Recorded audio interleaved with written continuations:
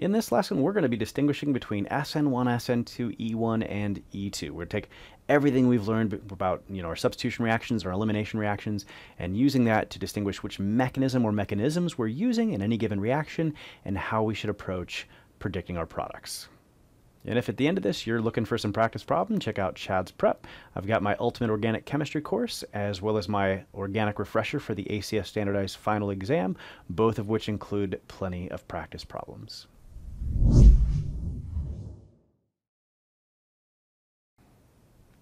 Okay, let's take a look here. Now, we've already kind of examined uh, and compared SN1, SN2, E1, and E2 for the substrate, uh, the, the preferred nucleophile or base, and some characteristics of the solvent, the leaving group, and things of this sort. Uh, but when you're comparing these uh, four different mechanisms, trying to decide which one, the single most helpful factor is going to be your nucleophile slash base. So we can see that uh, SN2 wants a strong nucleophile, E2 wants a strong base, and then SN1 wants a weak nucleophile, and E1 wants a weak base. Uh, and normally that's going to be your greatest determining factor. We'll find out uh, that water and alcohols are the most common weak nucleophiles, weak bases, and they're both at the same time. Uh, there's no such, you know, you're not going to deal with anything that's a weak nucleophile but not a weak base, or a weak base that's not a weak nucleophile that's going to be relevant uh, uh, for doing SN1 and E1. And so, uh, water and alcohols, and maybe even a carboxylic acid on occasion. So, if you're dealing with any of those, they're going to be doing both SN1 and E1. Uh, and almost always they'll compete with each other, um, and you'll predict a pair of products in most cases. And next up on our list, we've got uh, some reactants that are strong nucleophiles and only strong nucleophiles.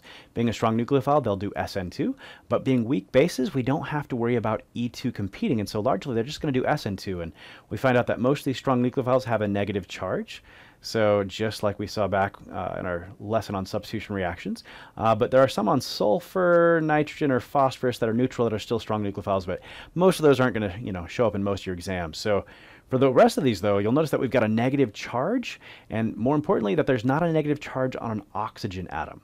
So typically if you've got a in this chapter a negative charge on anything other than oxygen it's probably just a strong nucleophile.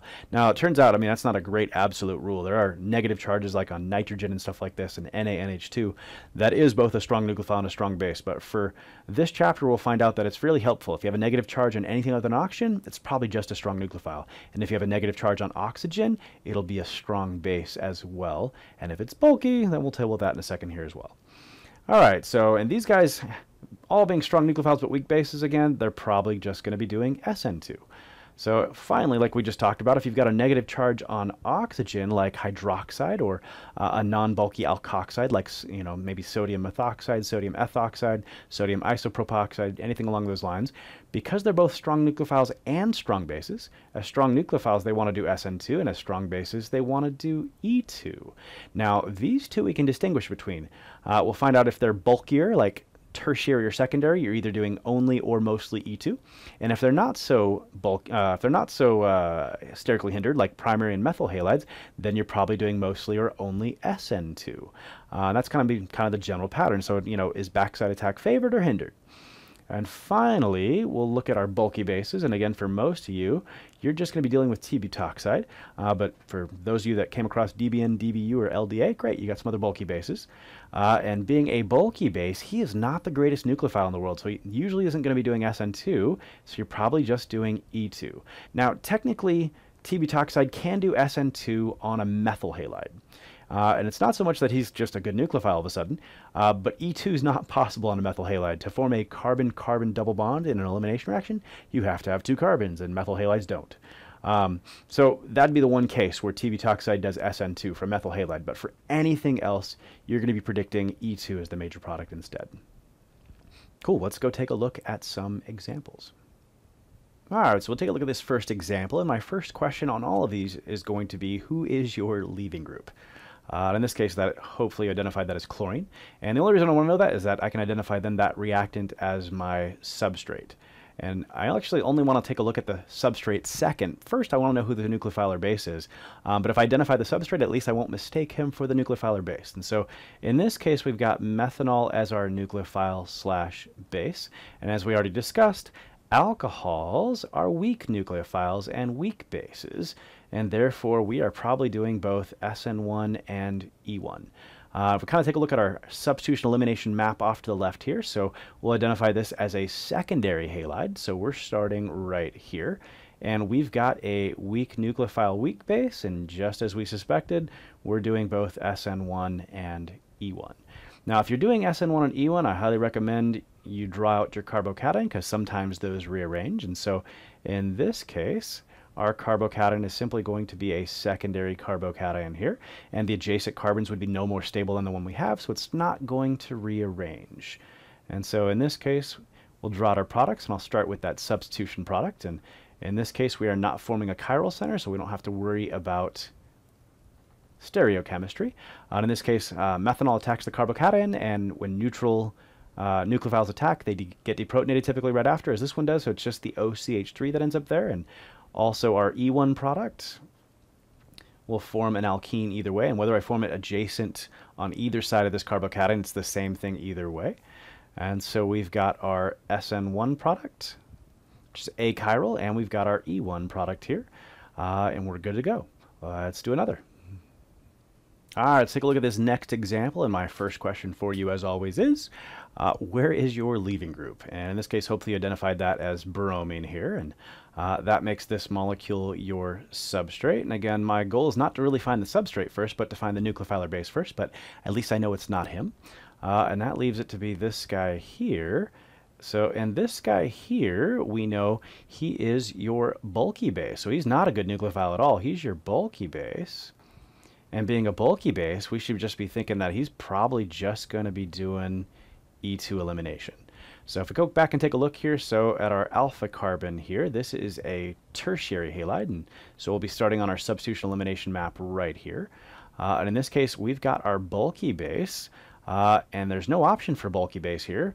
Uh, if you notice the others have like strong bulky base, strong bulky base, but here it's just strong base, and the reason there's only something for strong base is that for a tertiary halide, there is no SN2. So we don't have to worry about SN2. And so normally our bulky base would do E2 and not SN2, but for a tertiary halide, you know, SN2 wasn't even an option. So we're just doing E2 here. Uh, and in this case, if we identify our beta carbons now, so we've got a beta carbon here that's primary, another beta carbon here that's primary, and a beta carbon here that is secondary. And the other thing we got to remember here is that with our bulky base, we are not going after Zaitsev's rule. We're trying to form the Hofmann product as the major product. Uh, so in this case, we should be using one of those primary beta carbons uh, to deprotonate and form our alkene instead. And so for our major product, whether I use this primary up here or this primary down here, they're totally equivalent, doesn't matter. And so uh, there's our major E2 products. Cool. Well, let's take a look at another example. All right, in this next example, my first question for you yet again is, who is your leaving group? hopefully you identified that as iodine right here, and if that's our leaving group, then this molecule is our substrate. And again, my goal is not to identify that substrate, but to rule him out so I can find my nucleophile base. And in this case, that's going to be NaN3. He is my nucleophile slash base, or as we'll find out in a second, he's not really much of a base but he is a strong nucleophile. So a strong nucleophile but weak base, and so in all likelihood, the real, only real mechanism that's open to us is SN2. Uh, in this case, take a back a look at our halide. He is a secondary halide, so here's where we start on the map. And in this case, we've got a strong nucleophile but weak base, and as we just determined, yep, we're doing SN2. And in this case, uh, we've got an ionic bond here, so plus and minus, so N3 is our nucleophile. And you got to remember with SN2 that it's backside attack, so we get inversion of configuration if it happens at a chiral center, as it does in this example. And so in this case, we'll be placing iodide, which was a wedge, with our azide ion, which is a dash. And there is our major SN2 product. All right, in this next example, again, my question for you is who is your leaving group? And hopefully identified that as iodine, and that makes this molecule our substrate yet again and makes it pretty easy that this other molecule must be the nucleophile slash base. And you should notice it's ionic, metal to nonmetal here. And you should also notice that you've got a negative charge on oxygen. And if you've got a negative charge on oxygen, this guy's both a strong nucleophile and a strong base. And that means that both SN2 and E2 are possible.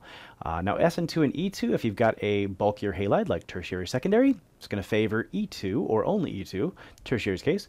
Uh, but if it's primary methyl and backside attack's relatively unhindered, then it's going to favor SN2. Uh, so let's go back and take a look at our substrate. In this case, we have a primary alkyl halide. So we'll start right here on the map. That would have ruled out SN1 and E1 anyways if we hadn't already figured that out. Uh, and in this case, again, we've got both a strong nucleophile and a strong base. And so we see that with a primary halide, SN2 will be the major, backside attack's pretty wide open, and E2 will be the minor. So if we take a look at that major first, we'll just replace, uh, let's do that in black, be consistent here. So replace that iodine with an OCH3, our nucleophile, and we're this is not occurring at a, uh, at a chiral center, so we don't have to worry about inversion or anything like that. And uh, we could also be doing E2, which in which case we'd be forming the alkene instead. And there's only one beta carbon possible, so only one possible alkene we could even form. And so here's our major SN2 product, didn't have to worry about inversion. And here's our major E2 product. And again, we said that SN2 is the major overall product, but E2 is going to be the minor product.